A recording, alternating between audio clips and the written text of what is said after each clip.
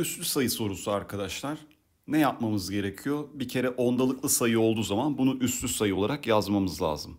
Böylece 16 hallederiz. 16 dursun.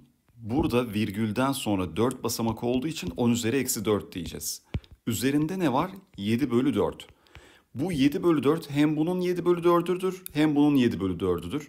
Bir de 2 üzeri 4 olduğu için 16. 7 bölü 4 ile çarpıyorum üstünü. 10 üzeri eksi 4. Yine 7 bölü 4 ile çarpıyoruz. Böylece bak 2 üzeri 7. Burası 10 üzeri eksi 7.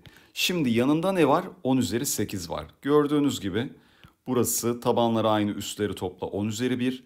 Burası 2 üzeri 7. 128 çarpı 10'dan 1280 B şıkkı oldu.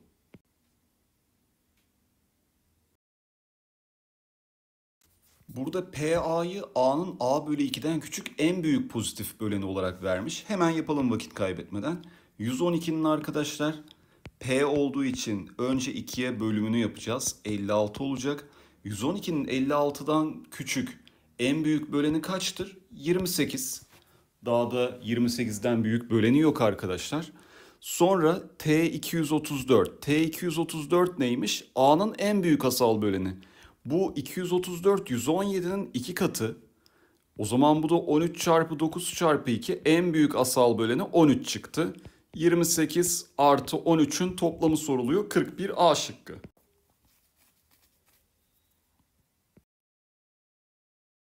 Bize arkadaşlar karenin kenarının uzunluğunu vermek için bulmamız için daha doğrusu bazı yönergelerde bulunulmuş.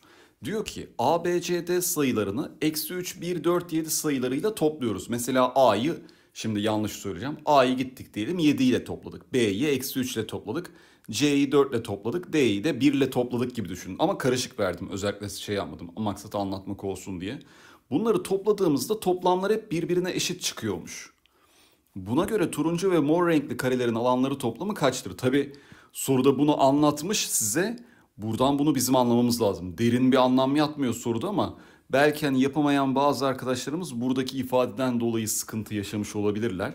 Şimdi mantıklı olmamız gerekirse A en solda en küçük, D en sağda en büyük. Ben o haliyle burada neyi düşünürüm? A'ya demek ki ben 7 eklemişim. D'ye de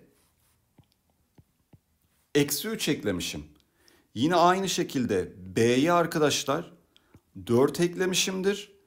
C'ye de 1 eklemişimdir. Böylece bakın bunların hepsi birbirine eşit tabii ki. Mantıklı olursak A, C arasındaki uzunluğu bulmamız lazım değil mi? Bu karenin kenarını bulmak için. Hemen ne yapacağım bakın burada. Hepsi birbirine eşit olduğu için tüm toplamlar A artı 7 C artı 1'e eşit olacak. Böylece C eksi A 6 gelecek. Karenin alanı mor karenin alanına M diyelim. Buradan 36 olacak. Sonra yine aynı şekilde turuncu karenin alanına bakın. D eksi B onun bir kenarı. D eksi B içinde hangisinden yararlanalım? B artı 4 eşittir. D eksi 3. Böylece D eksi B bakın 7 oldu. Bu karenin kenarına da şey alanına da T diyelim. Turuncunun alanında 7'nin karesinden 49. Toplamları sorulmuş arkadaşlar 35 oldu. Reel sayı dediği zaman toplama çıkarma yaparken sakın değer vermeyin. Toplayın. E, zaten fark alma yok eşitsizliklerde. Eksiyle topluyoruz bir nevi. En son değer vereceğiz. Haliyle 3A yapacağımız için bunu eksi 9, 3A ve 6. Sonra eksi 4B yapacağım bakın. Eksi 16. Tabii ki bunu yer değiştirdiğimiz için bu artık küçük eşit olan kısma geçecek. Ona dikkat. Burası eksi 4B ve eksi eksiden artı 16 oldu. Küçük eşitle küçük yer değiştirdiği için bakın küçük eşitin sol tarafa geldiğine bakın tamam mı? Toplarsak artık bunları eksi 25 küçük eşit 3a eksi 4b küçüktür 22. İki tane sayı arasındaki e, neyi soruyor bize? Alacağı tam sayı değerlerinin kaç tane olduğunu 22'den eksi 25'i çıkarırsak 47 tane varmış. Birisi dahil birisi dahil olmadığı için çıkaracağız kalacak öyle. E şıkkı.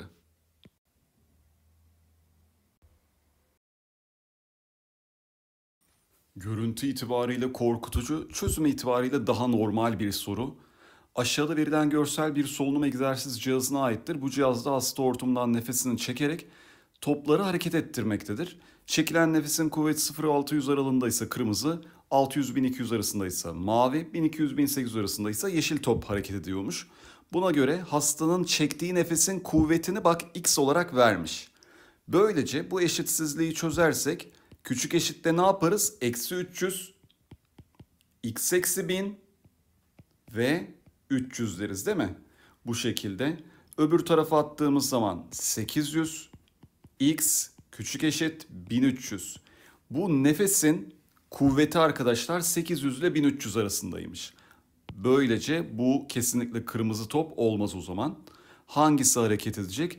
800 mavi arasında aynı zamanda 1300'e gelirse yeşile de denk gelir. Yani bu arkadaşlar mavi topu ve yeşil topu hareket ettirecek. Yalnız 3 olacak. Zaten kırmızı hareket etmeyeceği için bir iki şıkları kafadan patladı. Bu soruyu ben sadece yapmanın değil arkadaşlar aynı zamanda hızlı yapmanın önemli olduğunu düşünüyorum açıkçası. Çünkü bir şekilde vakit olsa düşüne düşüne yaparsınız ama TYT'de süre az ve TYT açısından güzel bir soru bu. Şimdi morların, mor üçgenlerin toplamları ayrı ayrı birbirlerine eşitmiş. Sarı üçgenlerdeki köşelerin çarpımları da birbirine eşitmiş. Şuradaki sayı aslında bizim için çok mühim değil biliyor musunuz? Çünkü ortak bölge orası. Bak a artı 3x artı 3 eşittir. Alta geç a artı m artı x artı 6 bak a'lar gitti. Buradan arkadaşlar m eşittir 2x eksi 3 oldu. Sonra gelelim sarılara. Sarılarda da güzel tarafı ne biliyor musunuz olayın? Şurayı bir sileyim. E burada zaten ortak iki kenar var. Buraya A demiştim. Buraya da arkadaşlar B diyeyim. Üçgen üstteki üçgende çarpımlar 2x eksi 4 çarpı A çarpı B değil mi? Altta da A çarpı B çarpı x eksi 4. Ben böyle uzun uzun yazıyorum ama zaten soruda bunu fark edersen bunları yazmana bile gerek yok. Şunu göreceksin. Burada 2x eksi 4 eşitmiş x artı 4'e. x de buradan 8'miş. Böylece m 16 eksi 3'ten 13 oldu arkadaşlar. A şıkkı.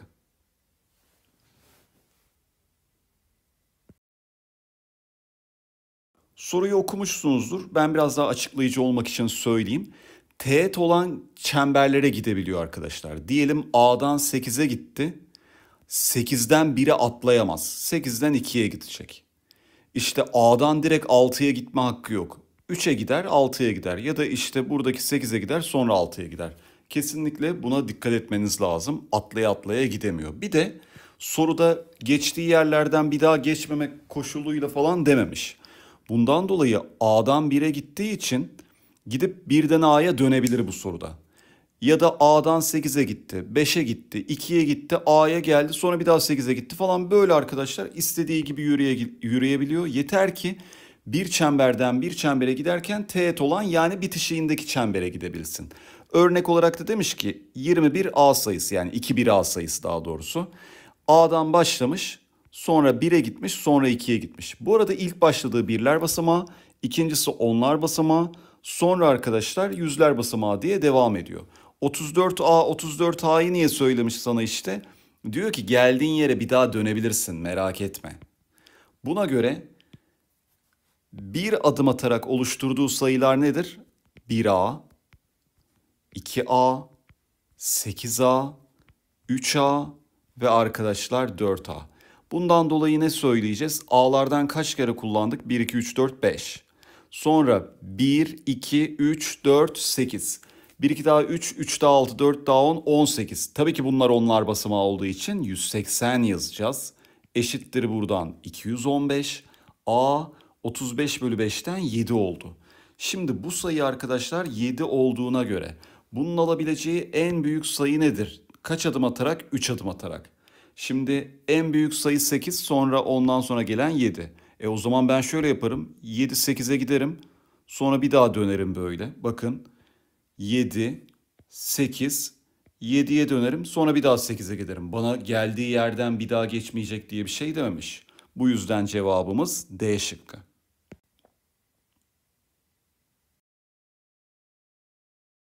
Sadece İstanbul, Ankara ve İzmir'e ürün gönderiliyor arkadaşlar. Kutular sembolik yani o kutunun içine 5 tane mi var 10 tane mi var belli değil ama bu semboller üzerinden hareket edeceğiz. 30 gün boyunca bu hareket yapılmış bakın. İzmir'e bakın 2-3-2-3 diye gitmiş. İstanbul'a 4-4-4, Ankara'ya 3-2-3-2 diye gitmiş ve 30 gün boyunca bu seferler böyle devam etmiş. 30. güne geldiğimiz zaman bu 2-3-2-3 gidiyor ya burası 3 olur. Bu zaten 4 problem yok böyle. Bu da arkadaşlar 3-2-3-2 olduğu için böyle olacak.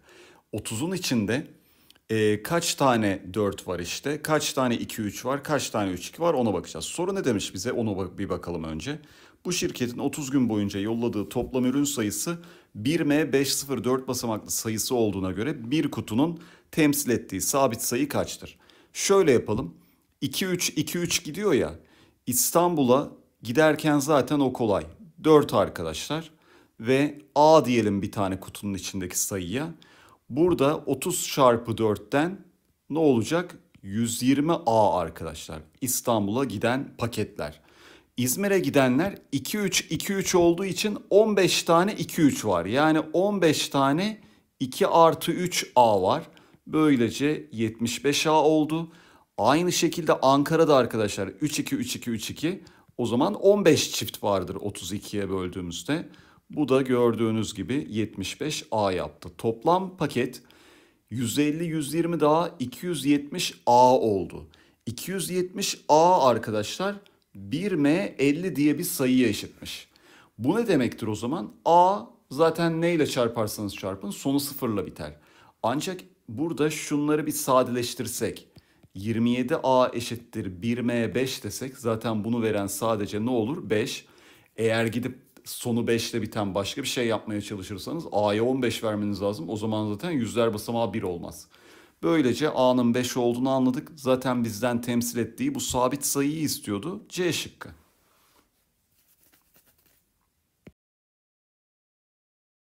WB, B kümesinin elemanlarının faktöriyelleri toplamı. Mesela B kümesi arkadaşlar açıklamak için bir örnek göstereyim. 1, 2, 7 olsa şu demektir. 7 faktöriyel artı 2 faktöriyel artı B'ymiş WB. Tamam mı? Bunu demek istiyor bize. Ya da diyelim B kümesi arkadaşlar A'nın bir alt kümesi olmak üzere 2, 4 ve 1 olsun sadece. O zaman 2 faktöriyel artı 4 faktöriyel artı 1 faktöriyel. Buradan da 5, 2 daha 7, 24 daha 31 olacak mesela cevabı. Anlatabiliyor muyum? Böylece WB'nin 152 olması için bir kere şuna rahat olun. 6 ve 7 olamaz ki. 6 faktöriyel bir kere 720, 7 faktöriyel de 720 çarpı 7. Bunlar zaten toplamı 152 aşacağı için alamaz. 5 faktöriyeli düşünelim mantıklı olarak. 5 faktöriyel 120'dir. 152 elde etmek için bir 4 faktöriyeli düşünüyorum. O da 24 yapar. 144 yaptı. 3 faktöriyeli düşünüyorum 6 yapar. 2 faktöriyeli düşünüyorum 2 yapar. Böylece bunların toplamı hakikaten 152 oldu. Demek ki 5, 4, 3 ve 2'yi kullanabilirmişiz. Bunların toplamı da C şıkkı 14 oldu.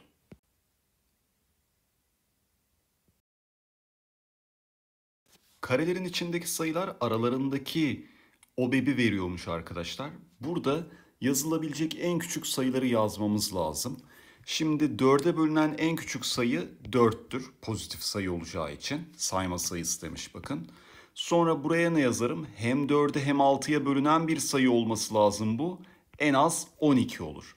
6'ya bölünen ve 10'a bölünen en küçük sayı burada 30 olur arkadaşlar. Sonra yine 10'a bölünen en küçük sayı da 10'dur. Toplamları 40, 12 daha 52, 4 daha 56. E şıkkı oldu.